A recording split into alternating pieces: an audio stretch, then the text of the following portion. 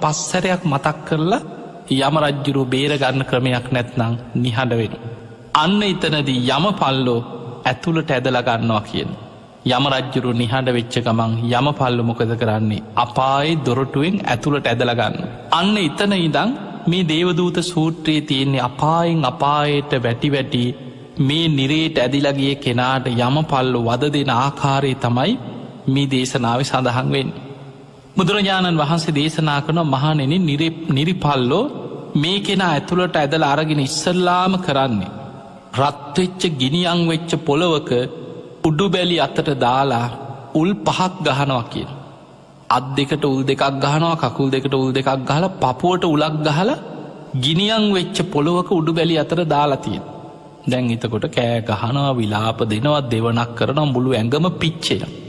වෙන සක්තියනවා චුත වෙන්නේ. කරමී ගෙවිල් අවසන් වෙනකං කොච්චර පිච්චුනත් ගිනිියන් වුනත් ආයමත් එතන්නම පහළ වෙනවා ශරීරයේ විදිහටම පහළවෙන්. ආයමත් පිච්චිලා යන ආයමත් පහළ වෙන. චුත වෙලා යන්නේ කරමේ ගෙවිල් අවසන් වෙනකං චුත වෙන්නේ කියෙන්.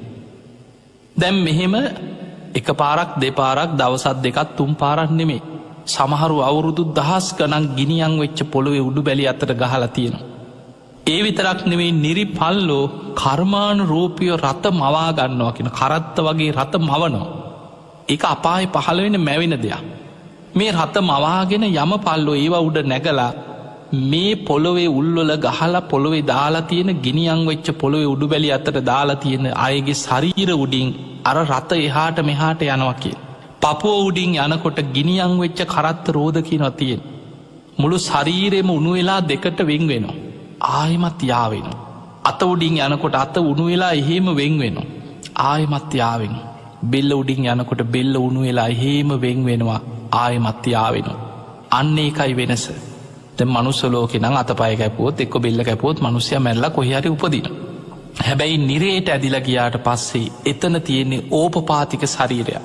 මේ ඕපපාතික සියුම් ශරීරෙ ස්වභාවය අර වේදනාව දැනෙනවා ඒ විදිහටම. කෑගහනවා බිලාප දෙනවා දෙවනක් කරන හැබැයි චුත වෙන්නේ. ආයමත් ඒ විදිහටම ශරීරය සකස් වෙලා ඒ වේදනාව නැවත නැවතත් ඒ විදිහට විඳිනවා. එතකොට මේ වගේ එක්කෙනෙක් දෙන්නෙක් තුන් දෙනෙක් නෙමෙයි ඕටි ප්‍රකෝටි ගානක් අර ගිනිියං වෙච්ච පොළොවේ උඩු බැලි අතට දාලා උල්ලොලින් ඇනලා පොළොවේ උඩු බැලි අතට තියලා කර්මාන් රෝපියෝ මවාගත්ත රතවල නිරිපල්ලෝ මේ අයගේ ශරීර උඩින් එහාට මෙහාට ගිනිියං වෙච්ච කරත්ත රෝධ තියෙන රතවලින් එහා මෙහා යනවා කියෙන්. මෙහෙම කාලයක් වදදීල වදදීල වදදීලා එත්තනින් උල්වලින් ගලෝල ඇදලගන්න.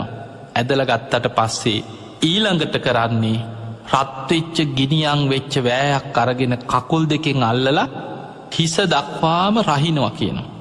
හම රහිනවා මස් රහිනවන් හරවැල් මේ ඔක්කෝම රැහැල රැහැල රැහැල ඇට සැකිල්ල දක්වාම රැහැල ගිනිියං වෙච්ච පොලෝකට වීසි කරනවාකි.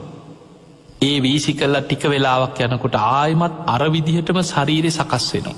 දැන් ඔබ හිතන්න කෙනෙක්ව පණපිටින් හම ගලෝනකොට මේ ශරීරය මස් ගලෝනකොට වෑයකින් ශරීරය රහිනකොට යම් වේදනාවක් දැනෙයිද ඒ විදිහම වේදනාවක් අර නිරි සත්‍යයටත් දැනෙනවා. එකම දෙයයි කෑගහනවා විලාප දෙනවා මිසක් ඔහුට බේරෙන් අතක් නෑ. යම පල් ඔහු අල්ලගෙන කකුල් දෙකින් අල්ලගෙන හිස දක්වාම එක පැත්තකට රහිනවා. එහෙම රැහැල රැහැල වීසි කරනකොට ආයමත් ශරීරයේ විදිහටම සකස් වෙන. එතකොට මොකද කරන්නේ ආයමත් අල්ල ලරගෙන දැන් අනි පැත්තට අල්ලගන්න. හිසෙන් අල්ලගෙන කකුල් දෙක දක්වාම වෑයකින් අනි පැත්තට රහිනවා කියන. මෙහෙම රැහැල රැහැල ආයමත් ඇට සැකිල්ලටම රහිනවා කිය. එහෙම රැහැල වීසි කරනකොට ආයම ශරීරය අරවිදිහටම සකස්වෙන. හැබැයි චුත වෙලා යන්නේ නෑ. අන්නේ එකයි වෙනස. දැම් බලන්න මේ වගේ අපායට වැටුනට පස්සේ එක්කෙනෙක් දෙන්නෙක් තුන් දෙනෙක් නෙමේ. කෝටි ප්‍රකෝටි ගානක් නිරේ තුළ මේ නිරි සත්‍යයන් මේ අපායින් අයට යම පල් ඔයි විදිහට වද දෙනවා කියන. වෑයවල්ලොලින් රැහැල රැහැල ඇට සැකිල්ල දක්වාම රහිනවාකින්. ඔහොම කාලයක් ගතවෙලා යනකොට දැන් රැහැල රැහැලා ඊට පස්සෙ මොකද කරන්නේ. ගිනි අලු තියෙන අංගුරු පරවතයක් තියෙනවාගෙන ගිනිගන්න. අපි හිතම සාමාන්‍යෙන් ගිනිගන්න නිකං ගිනි කන්දක් වගේ තියෙන පරවතයක් ගැන ගිනියං වෙච්ච පරෝතයක් තියෙනවා. මේ පරවතයේ දිගේ කස පහර දිදී රත්වෙච්ච යකඩ පතුරුවලින් කස පහර දිදී පර්වතයට නංගනවා කියෙන්. ගහන් බේරෙන් අතක් නෑ අර පහර දෙනකොට කෑග ගහ පරවතයේ දිගේ දුව නොවෙන කොහෙ දුවන්න. එතකොට මේ පරවතයේ දිගේ දුවනවා කෑ ගහනවා විලාපතිදී දුවනු. ඒම දුවගෙන දුවගෙන ගිහිලක් කොහෙට හරි කමන්නෑ පනිනෝ. තැම් බලන්න මිනිස්සු ගොඩ නැගිලි ගිනිගන්නකොට ගොඩ නැගිල්ලෙන් පනිනෝ. ඇයිඒ ඕන දෙයක් වෙච්ච දෙෙන් කියලා පනිනෝ සමහරු. ජීවිතයේ අවධානමත් එක්ක එක දුකක් විඳිනකොට ඊළඟ තැනට පනිනෝ. අන්න ඒ වගේ මේ පරවතීන්ට නැගල නැගලා උඩින් යමපල්ලො පන්න පන්න පහර දෙනකොට ගිනිියං වෙච්ච පරවතයට නැගල උඩින් පනිනකොට ඊළඟට වැටෙන්නේ ලෝකුඹ කියන නිරේට කියෙන්. මේ පරොත්තෙන් පල්ලට පැනපු ගමන් වැටෙන්නේ ලෝකුම කියලා තවත් අපායක.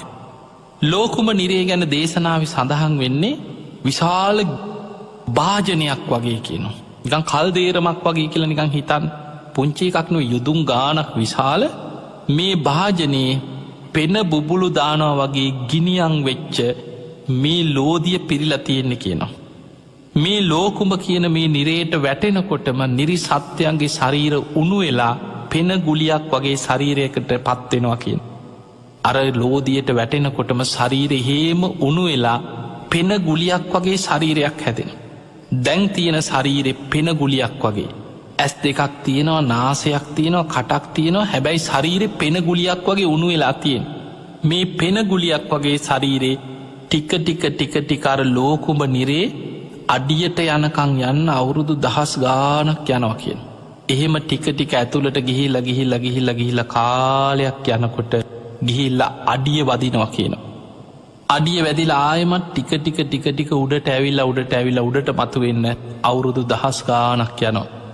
ඒ කාලේ තුළ කෑගහනවා අඩනවා විලාප දෙනවා වේදනා විඳිනවා හැම මොහොත්තෙම දුක් වේදනා දැනෙනවා. හැබැයි බේරගන්න කෙනෙක් නෑ. චුතවෙන්නේ නෑ. එතනින් බැහැල වෙන දිහාකට යන්න බෑ චුතවෙන්න බෑ. මුළු ශරීරෙම උනුවවී උනුවවී වේදනාවින්දට චුත වෙලා යන්නෑ කිය. ඕක තමයි ලෝකුම නිරේස භාව. ඔය විදිහට සමහරු අවුරුදු දස දහස් ගනන් කල්ප ගන මේ ලෝකුම නිරේ උඩට පහලට යමින් පෙන ගුලියක් වගේ උනුවෙච්ච ශරීරයක් ඇතුව නිරි සත්‍යයෝ මේ අපායි දුක්විනිනවා කියනවා. ඔහොම කාලයක් ගතවෙලා යනකොට යම පල්ලො මොකද කරන්නේ බිලී කොකු වගේ කොකු දාලා අර ඉන්න සත්වය අරගෙන කරකෝල වීසි කරනවා කියෙන මහානිරි. එතනින් විසි වෙලා වැටෙන්නේ මහානිරයට වැටෙන ඊළඟට. මහානිරේ තමයි ආනන්තරි අකුසල් කරගත් අයි කෙලින්ම වැටෙන අපාය තමයි මහානිරේ. කල්පයක් මහානිරේ කියල සඳහන් වෙනවා පංචානන්තරි අකුසලයක් කරපු කෙනෙ. දැම් මේ ලෝකුම නිරිං ඇදල වීසි කරන නිරි සත්‍යය අර පෙනගුලියක් වගේ ශරීරයක් තියෙන කෙනා නිරි පල්ලො වීසි කරනකොට වැටෙන්නෙත් මේ මහානිරේටමයි. මහානිරේ ස්භාවය බුදුරජාණන් වහන්සේ පෙන්න්නනවා මහනෙන මේක කර්මාන්රූපිය මැවිලා තියෙන්නේ යකඩ වගේ ගිනියං වෙච්ච බිත්ති ඇති මේ සම චතුරශ්ාකාර දිගට ඒවගේම පලලින් යුක්ත හතර පැත්තේ දොරවල් හතරක් තියෙනවා කියන. එක දොරකින් විශාල ගිනි ජාලාවක් එනකොට අනිත් දොරේ ගිහිල්ල ගින්න වදිනවා කියන. අනි පැත්ති දොර ඇරෙනකොට ඒ පැත්තෙන් ගිනි ජාලාවක් කෙන අනි පැත්ති දොරේ වදිනවා කියෙන මේ විදියට තමයි කෙන මේක කර්මාන් රෝපිය මහා නිරේ මැවිලතිය. මෙන්න මේ අපා ඇතුළට තමයි නිරි සත්තු ටික වැටෙන් එක්කෙනෙ දෙන්නෙක් නෙමේ මේක දහස් ගානක් ඉන්නවා. හතර පැත්තෙම මුලින් ගිනි දැල්ලෙනවාකි.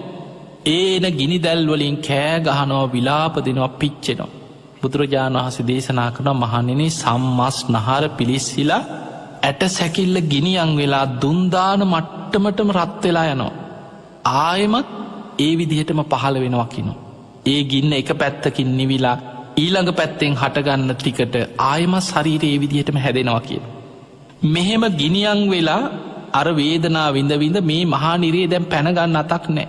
හතර පැත්තෙම බිත්ති හතරකින් කොටු වෙලා ගිනි දැල් මැද්ද පිච්චි පිච්චි කෑග ගහ විලාපදිදීන්නවා. ඔය අතරෙ කාලයක් යනකොට එක පැත්තක දොරටුවක් විවෘත වෙනවා කියෙන්. ඈතින් පේනවා එක පැත්තක දොරටුවක් විවෘත වෙලා. අර රොත්තම එක පොදියට දුවගෙන යනවා කෑ ගහගෙන එතනින් පැනගන්න. එහෙම දොරටුවට